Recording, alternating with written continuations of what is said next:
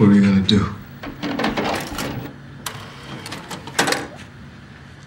Told you. We're gonna hang out. Gonna watch a movie. Gonna take some pictures.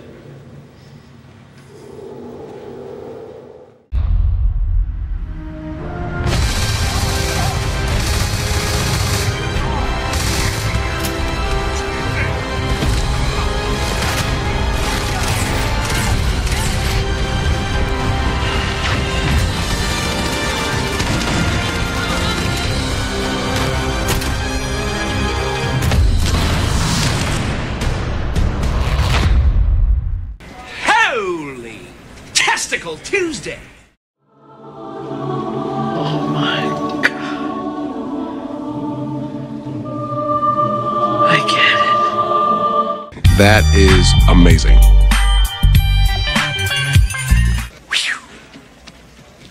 Now I feel better. Okay, you guys, let's continue our flyover of the Starfield Direct, starting with roughly the second half of the video. If you missed the first half, click the card in the top right corner of the screen now to check it out. Otherwise, let's take a look together.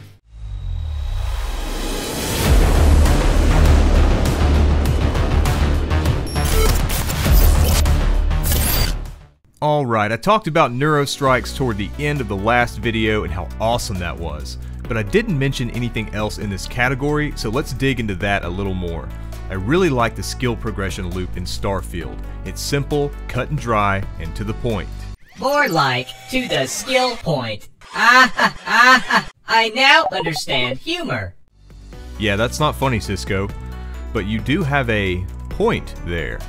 If you gain enough experience to level up, you earn a skill point. You can allocate this skill point toward unlocking new skills or ranking up those you've already unlocked. To unlock all four ranks of a skill, you have to complete challenges associated with that particular skill. Once you unlock a rank by completing said challenges, you can assign a skill point to those ranks after leveling up. Like I said, simple, straightforward, and according to Tim Lamb, lead producer, is unlike anything they've done before. I also want to say that Bethesda knew exactly what they were doing with their branding and the presentation of their logos and imagery. Look at the sign that pops up notifying the player of a new level increase. It's colorful and interesting. It catches the eye and makes you feel excited, like you really deserve an award for leveling up. It's sleek and futuristic, but also fun and inviting, almost reassuring you that this game isn't taking itself too seriously. I mean, what do you think of when you look at that? I think of Pepsi and Six Flags and shit like that, you know? It's actually perfect, and a lot of small things like this I guarantee you will go unnoticed in this game where it has a bigger impact than you think. Like how the NASApunk icon was a blatant ripoff of the NASA logo? I swear I did not do that on purpose. Though I don't mind the image association.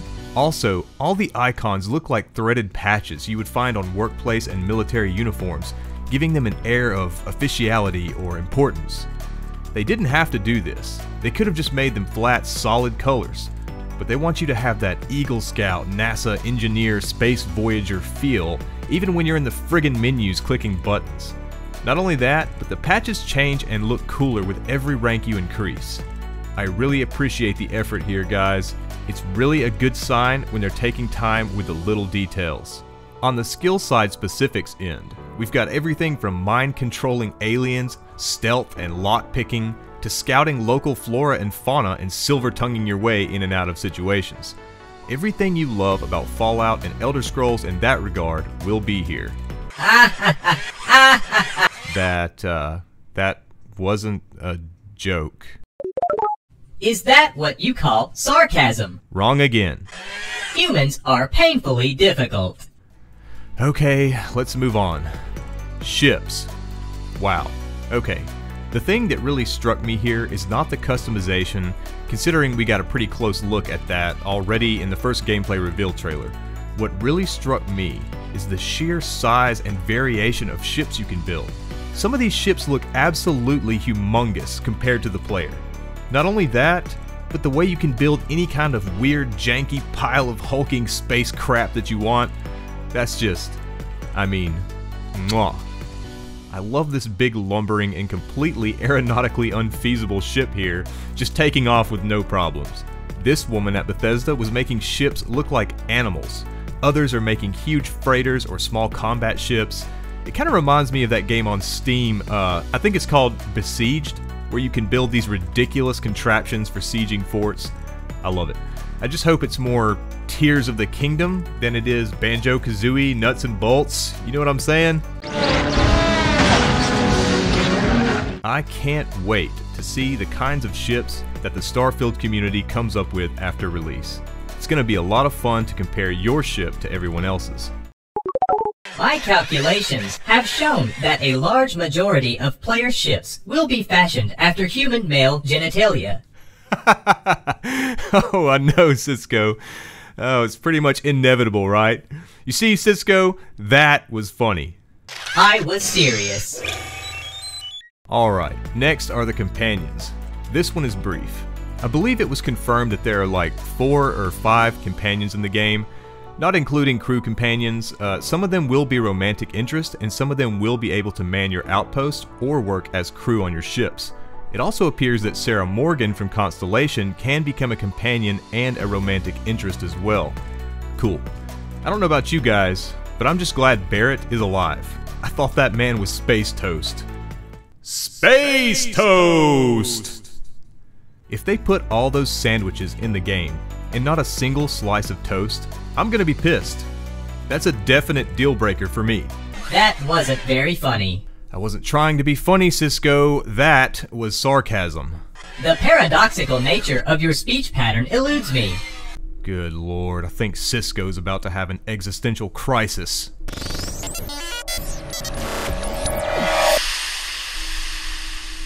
Oh well. So Spaceflight got a pretty big segment in the Direct, and it's pretty clear why. They've put a lot into this, and it's likely going to be a huge part of the gameplay in Starfield, as one would expect. Piloting your ship and engaging in combat is described as a, quote, complex dance between your piloting skills and the power allocation system. This is really cool, and I like the gameplay loop here as well. It's not going to be as basic as just steering and shooting. You have to actively allocate power points toward different aspects of your ship's abilities, such as its thrusters, armaments, grav drive, and shields, in order to effectively engage or survive in different scenarios. For instance, if you want to survive a difficult space dogfight, you'll want to allocate the majority of your power points toward your weapons and shields. Power up your engine if you want to go faster, power up your grav drive if you want to shorten the amount of time before you can make another jump, so on and so forth. So yeah, I really like the PowerPoint system. I find PowerPoint to be quite boring personally. That's not the same thing, not even close to what we're talking about here. Does not compute.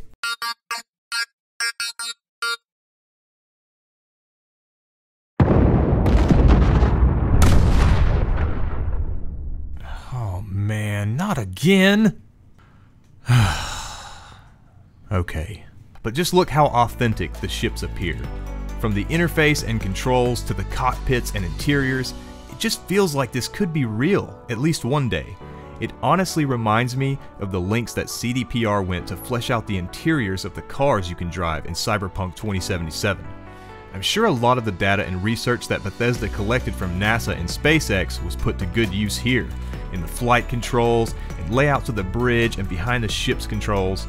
So you can board and hijack enemy ships, add them to your fleet, and retrieve them at spaceports. There's also a whole lot you can come across out in the cold black of space making it feel like anything but empty in this corner of the galaxy. You can hail other ships and trade with them, swap info, or attack them, or stop at spaceports and fraternize with friendlies, or even buy new ships. Like Zachary Wilson, senior level designer, said, they're giving you a quote, massive playground and a ton of toys and setting you free. Wow. What a tagline, you guys. Excellent. Oh, and one more thing did you guys know there was a rage quit button in the player's ship in one of the segments of the Starfield Direct? Please tell me I can just kamikaze myself on a whim just to watch my lifeless body hurtle through space into oblivion. Too soon. Exploration looks great as usual. We see a lot of new footage planetside, and don't forget the moons. You can scan before landing to check for available resources, which you can use for crafting, building, and customizing. I am still somewhat in disbelief about just how good these planets look. Everything from the trees and plants to the textures of the terrain, the alien creatures, and how the atmospheric lighting interacts with it all. And not to mention exploration itself as a gameplay loop, where scanning all the wildlife and resources on a planet is its own sort of mini quest you can complete from planet to planet. Some environments look like the harshest desert, with rocky plateaus and arid atmospheres, while others look chock full of lush greenlands. From the tallest mountains to the lowest valleys, you won't be short on variety when it comes to these planets. Good deal. No mountain high enough. Now, when it comes to planting your flag, outposts can be built almost anywhere on any planet. I'm assuming this applies to moons as well. These outposts come in the form of habitat modules that can be strung together in a variety of patterns to create the ideal setup for your, wait for it, space base! Wait a second. Is that a dark Vasco? That's racist. If this keeps up, my head is gonna explode. You can actually set up extractors to harvest resources while you're gone. That's right.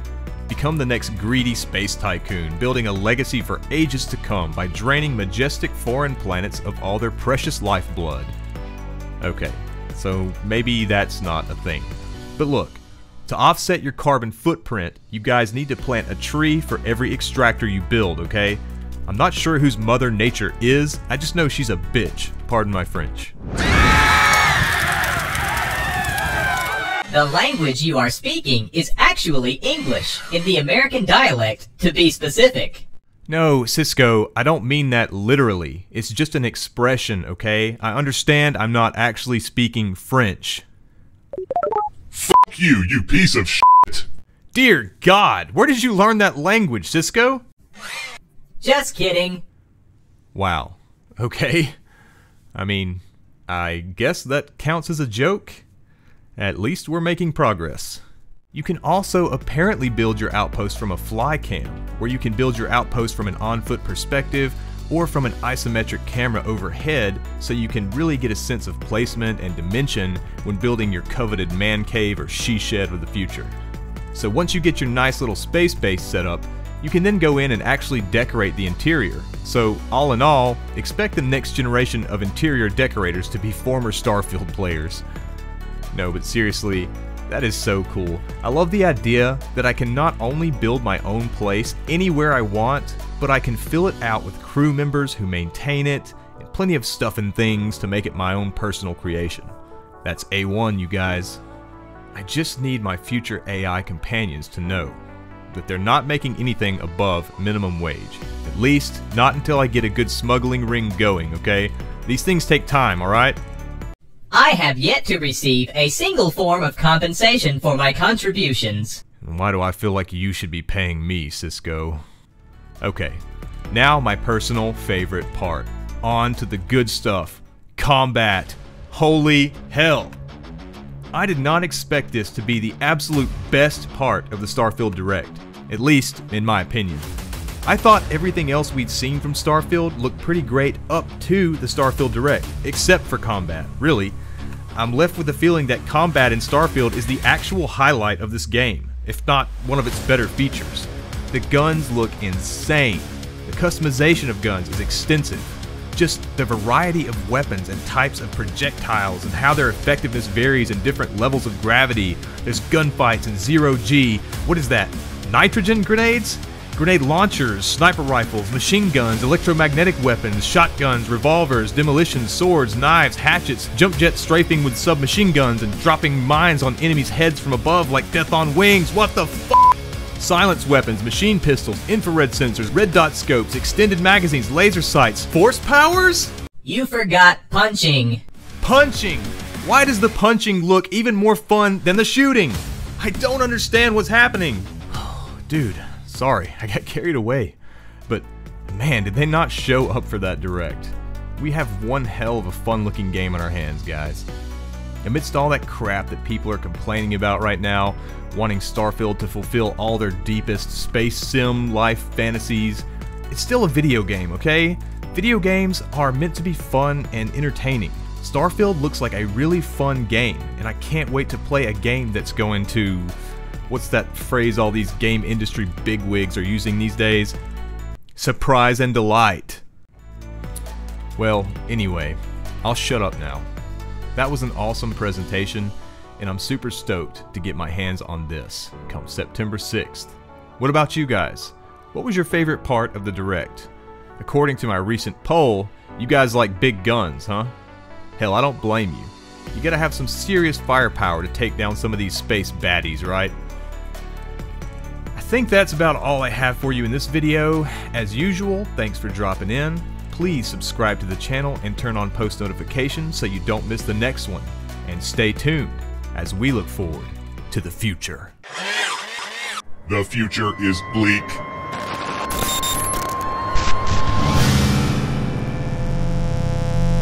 be ruthless